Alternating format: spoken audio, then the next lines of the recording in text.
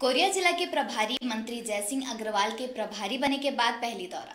ओकर संग मनेन्द्रगढ़ विधायक विनय जायसवाल और विधायक गुलाब कमरो भी संग आई। यहाँ कांग्रेसी कार्यकर्ता मन ला लोकसभा चुनाव की तैयारी पर मुस्तैद रहे के सलाह दी। देखो हमार रिपोर्ट। कोरिया प्रभारी मंत्री के प्रथम नगर आगमन में कार्यकर्ता मन में काफ़ी उत्साह देखे गए।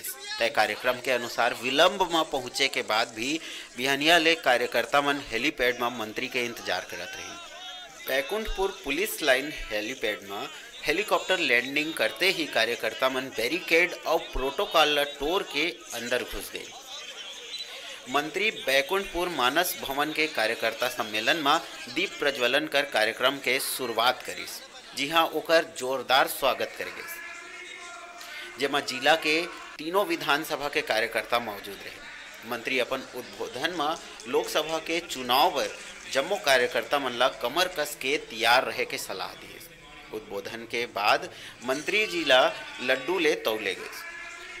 पत्रकार मन के सवाल के जवाब देवत मंत्री अग्रवाल कहिस, कोरिया जिला में समस्या अबड़ है जेकर समाधान करना मोर ज़िम्मेदारी है।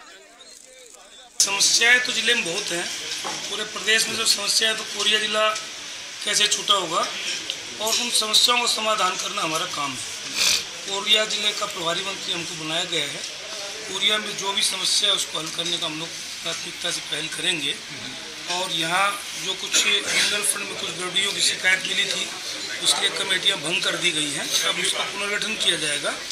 जो मिनरल फंड की जो कमेटी थी और उसके बाद जो वास्तव में यहाँ कोरिया ज़िले की आवश्यकता है, उसके मुताबिक उसको खर्च किया जिस कोरिया ले डिजिटल रिपोर्टर संजय गुप्ता के रिपोर्ट।